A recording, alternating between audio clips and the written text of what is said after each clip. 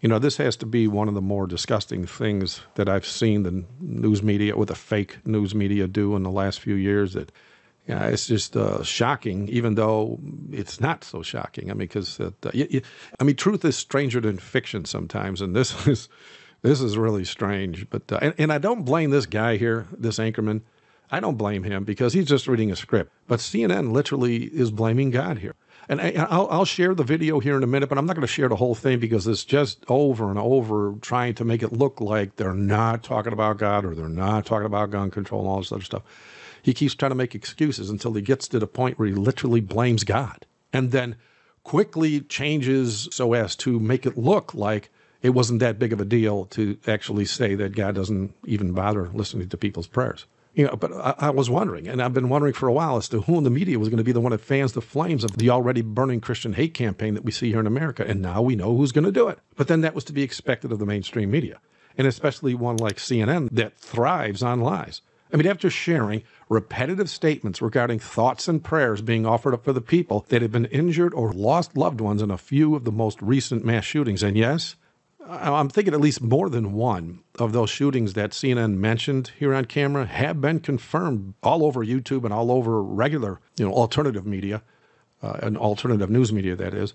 Uh, but they have been confirmed as false flag attacks that were designed to grant more powers to the uh, people in government so as to push ahead on even more unjust laws in America. And this but, but this CNN anchor literally claims prayers didn't help the already praying Christians that were killed in the church. And yes, that statement alone is going to fan the flames of hatred against anyone trusting the Christian God because now they've stated in the news media that you can't trust God. I mean, check it out. Check out what he says here. Sometimes twice. So spare me the anti religion tweets. You can keep them.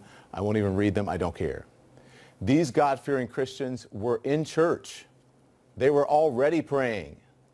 Thoughts and prayers did not stop an oversight from the justice system, which enabled a guy.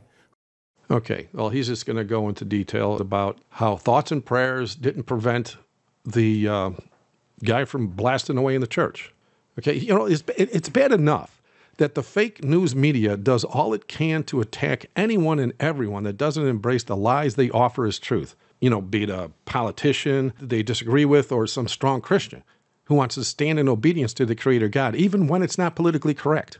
But for CNN to create the narrative that the God of the Bible never answers any prayers when people are literally being killed by a crazed gunman is nothing more than an obvious setting of the stage for the people that actually trust these lying reporters, and there's a lot of them, but they actually trust these reporters to become even more hateful towards God of the Bible because now they think they have proof that the God of the Bible doesn't even help people. And therefore, that kind of hatred is going to go against anyone that believes in him. I mean, the truth is, every God hating person the last 6,000 years has always stepped up to make these kind of crazy claims that God wasn't going to help his people whenever they flexed their muscles against them. Because that's actually what's happening here. But yet, each time they do this, we have seen the hand of God move in mighty ways. Everything from the Red Sea to Goliath to, you know, whatever else is going to happen. But soon, everyone on this planet is going to see that eastern sky split. I mean, the basic reality here is Satan knows his time is short, and so he's going to have to puff himself up as much as he can. And just as Goliath did all he could to make David fearful, the Vatican controlled media is doing all they can to do the same as that great and dreadful day draws closer. You know, when it comes to everything from good Christian morals to the God that outlines those morals in his holy book, just like Goliath of old, CNN mocks the God of the Bible by claiming he wasn't there for his people. But then, as prophecy predicted long ago, Satan has to form his Armageddon troops so as to encircle the obedient bride of Christ that do trust in the God of the Bible. And they're going to encircle us on that great and dreadful day with weapons in hand, hoping to kill us off because, number one, they actually believe the lies that all the disasters in the world are due to obedient Christians refusing to obey the Vatican puppets in the media that echo the demands of the Pope, who claims keeping Sunday holy is going to stop all those disasters. And yeah, that's what all this is coming to. And number two, they think the God of the Bible won't stop them or even protect the Christians that they lay down on those guillotines because now the media says he's not going to. And so the only way to get everyone on the same page is to get Bible believing Christians hated more and more. And so this is why we see reporters like this claiming our God refuses to answer prayer.